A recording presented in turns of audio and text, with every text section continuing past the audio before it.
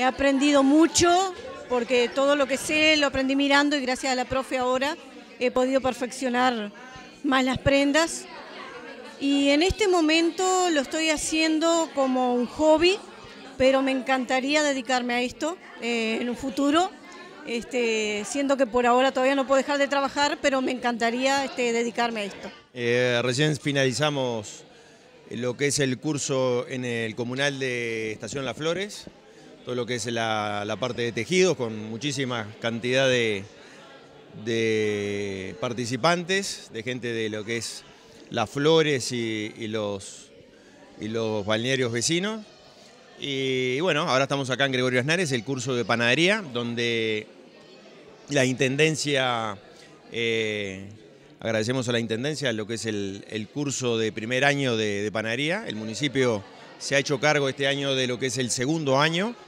Y bueno, nos parece algo muy bueno, eh, con muchísimas participantes también en el curso y con proyectos nuevos que tienen, que bueno, que lo vamos a estar este, estudiando en el municipio, tener un lugar donde, donde estar preparando ellos, este, bueno, crear una, fuente de trabajo a partir de estos cursos, que está muy bueno, tener todo una, un grupo de, de, estudiantes que tengan un lugar donde cocinar y poder estar este, ofreciendo y vendiendo lo, que producen.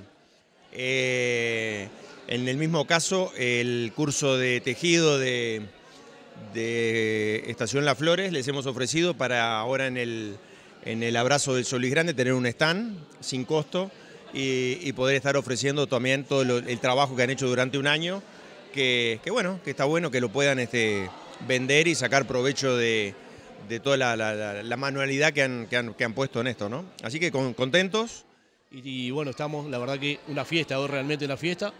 Este, y bueno, cerrando curso, la verdad que una alegría, una alegría enorme, un poco de tristeza porque eh, dejamos los alumnos un poco para atrás, pero una alegría enorme porque realmente es una fiesta y bueno, y concretamos este, con éxito eh, y colmamos todas las expectativas, digo, sacamos gente preparada para trabajar y bueno, de eso se trata el curso de inserción laboral, ¿verdad? Bueno, primero que nada agradecer al municipio de Solís, eh, por el apoyo que nos brindó tanto el año pasado como este, el segundo año, eh, la cual apostamos este, seis compañeras un segundo año. Se logró al profesor eh, un agradecimiento enorme y bueno, en lo personal fue un crecimiento muy grande que se obtuvo. Este, muchas de nosotros ya estamos elaborando para afuera y bueno, ha sido un crecimiento enorme en todo sentido. Intendencia de Maldonado construyendo futuro.